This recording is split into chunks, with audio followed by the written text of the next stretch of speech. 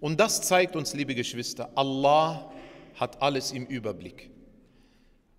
Und wenn Allah erlaubt, wird der gerechte Herrscher kommen. Nur wir müssen es verdienen. Guckt mal, ein 37-jähriger Kalif, der könnte jetzt noch die nächsten 60 Jahre leben, oder nicht? Theoretisch. Und er könnte so ein Tyrann werden.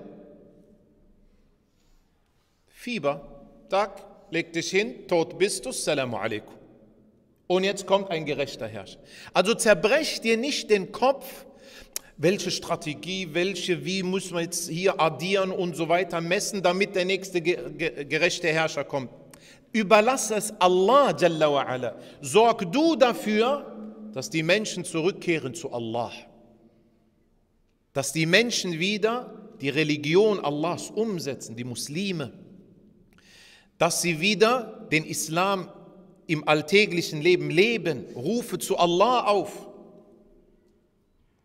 Denn mit der Zeit, mit der Zeit wird sich es schrittweise verbessern, die Situation, so dass vielleicht irgendein Herrscher, auch wenn er nicht so gut ist, einen Berater hat, der gut ist und deswegen eine Entscheidung getroffen wird, die für die Muslime gut ist. Äh, gut ist.